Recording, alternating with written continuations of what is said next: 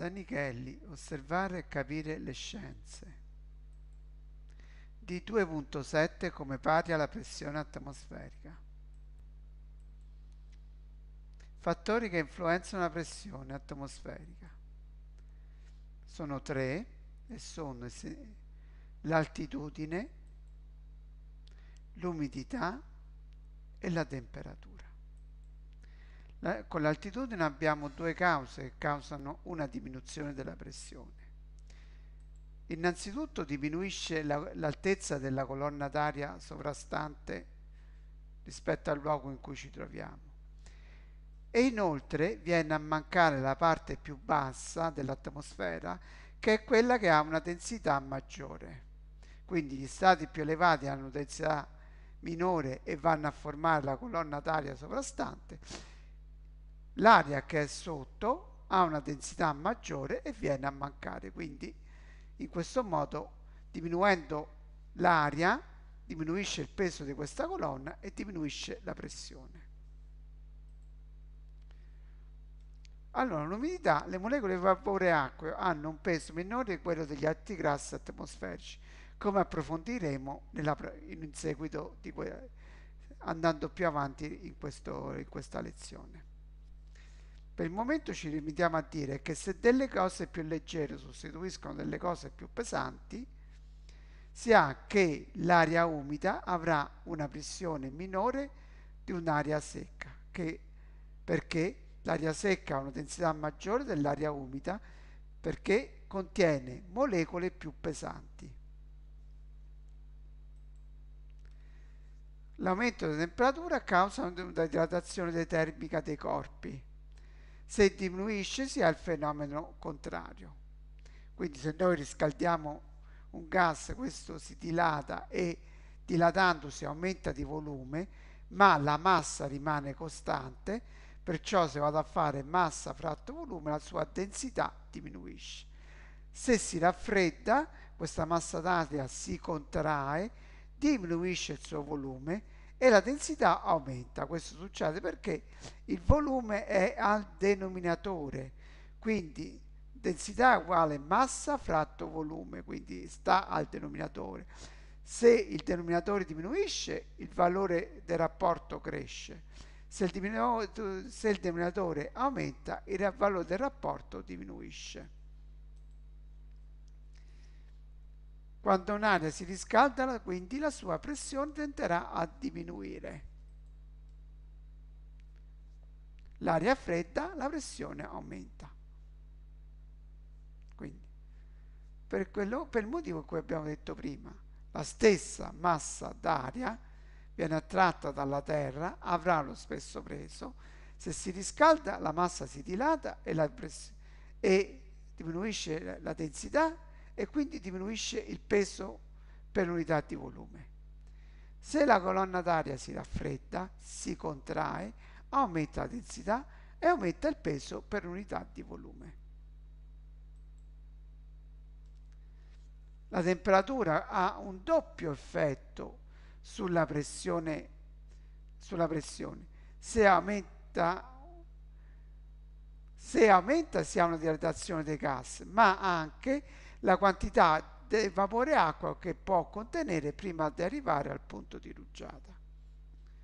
Quindi influenza due volte sulla, sulla pressione, una perché dilata i gas, una perché gli permette di contenere una maggior quantità di molecole di acqua. Andiamo a vedere il peso delle molecole perché abbiamo detto che diminuisce di peso perché facciamo adesso un piccolo excursus in quello che sarà il programma della seconda media. Però andiamolo a vedere. Per determinare il peso delle molecole si sommano i pesi, i pesi atomici di ciascun atomo che va a costituire la molecola. Nel nostro caso, per fortuna, gli atomi da prendere in considerazione sono pochi.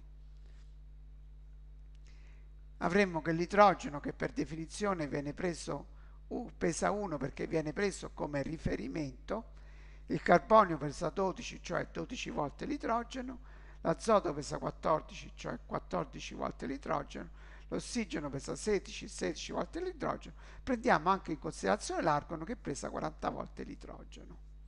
Quindi abbiamo questa situazione. Con questi possiamo vedere il peso di ciascuna molecola. Questo qui vediamo la tavola periodica degli elementi. Di questa tavola periodica prendiamo in considerazione l'idrogeno che come vediamo pesa 1, il carbonio che pesa 12, vedete l'azoto mi dice che pesa 14, l'ossigeno mi dice che pesa 16 e l'argono che pesa 40. La molecola di acqua contiene due atomi di idrogeno e uno di ossigeno, per cui avremo 2 per 1, che è il peso molecolare dell'idrogeno, più 16, cioè 18. La molecola di acqua pesa 18. L'azoto invece è fatto da due molecole, da due atomi uguali pesa, di azoto che pesa 14, 2 per 14 a 28, quindi già la molecola di azoto pesa, mol, pesa molto più dell'acqua a maggior ragione l'ossigeno sarà 2 per 16, cioè peserà 32, e l'anidride carbonica addirittura pesa 12 per 2 per 16, cioè 12 più 32, cioè 44. Quindi la molecola di acqua che pesa 18 può sostituire una molecola di azoto che ne pesa 28, una di ossigeno che ne pesa 32, che sono i gas più abbondanti, poi una di argo che ne pesa 40 e una di anidride carbonica ne pesa 44. Quindi questo fa sì che il peso dell'aria umida sia minore del peso dell'aria asciutta. Per determinate condizioni il numero di particelle del gas è costante, quindi non è che l'ingresso di una molecola può aumentare la quantità di gas presente. Nell'unità di volume avremo che sarà sempre uguale è una cosa che voi farete alle superiori, non lo faremo più neanche nella media.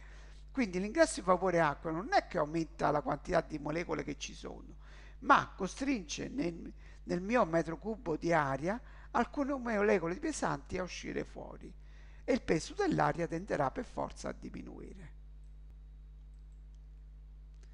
Bassa e alta pressione.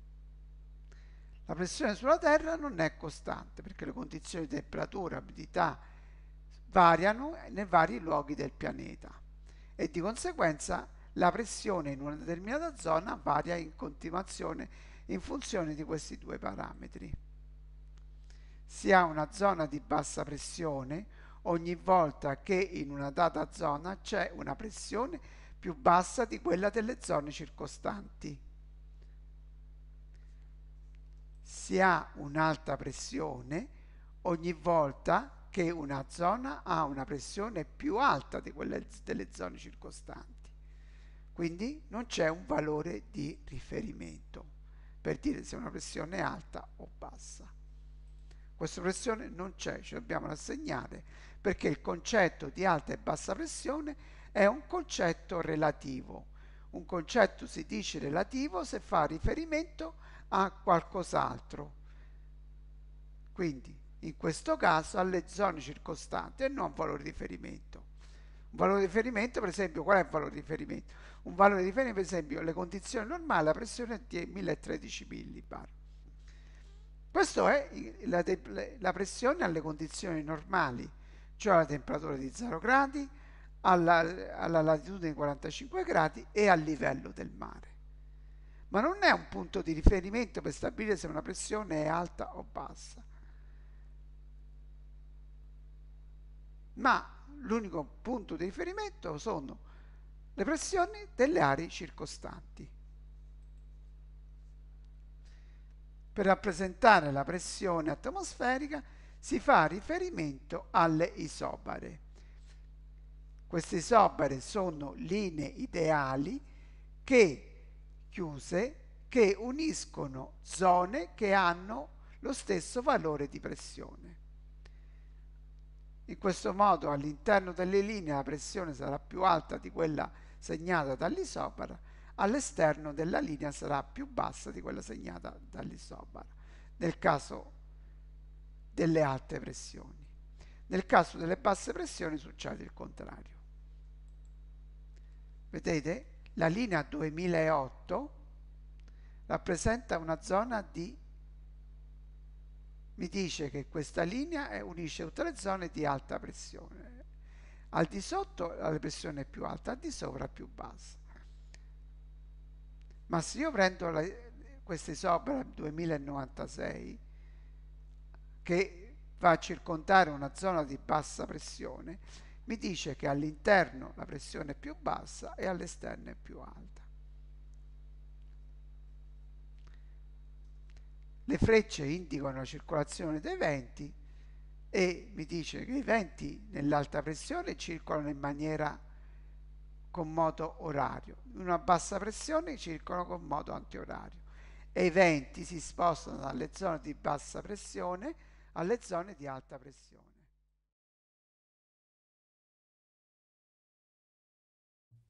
La pressione atmosferica è un dato che possiamo misurare nelle stazioni meteo. La pressione dipende da fattori geografici e meteorologici, ovvero dall'altitudine, dalla temperatura e dalla quantità di vapore acqueo presente nell'aria. Vediamo perché. Ad altitudini elevate, la colonna d'aria che grava su una superficie ha un certo volume, pieno di molecole, e ha un peso, e dunque sviluppa una determinata pressione. Ma se ci spostiamo ad altitudini minori, per esempio a livello del mare, la colonna d'aria che insiste per unità di superficie è più alta e dunque contiene molte più molecole. Un numero maggiore di molecole ha anche un peso maggiore, che si traduce in una pressione più alta rispetto a una località montana. La temperatura influisce sulla pressione. È lo stesso meccanismo che agisce sull'aria scaldata da un fornello. L'aria calda si espande e diventa meno densa, quindi più leggera, e sale verso l'alto. Quando si raffredda, la densità aumenta e l'aria, divenuta più pesante, ricade verso il basso. L'aria calda dunque esercita una bassa pressione. L'aria fredda invece produce alta pressione. L'umidità influenza la pressione perché l'aria umida pesa meno dell'aria secca. Il vapore acqueo, infatti, fa diminuire la pressione perché le molecole di acqua sono più leggere di quelle di azoto e ossigeno, i due principali componenti dell'aria.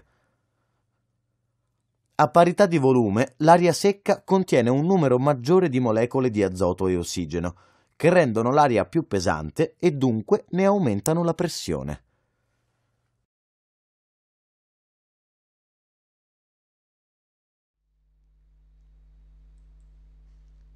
Christine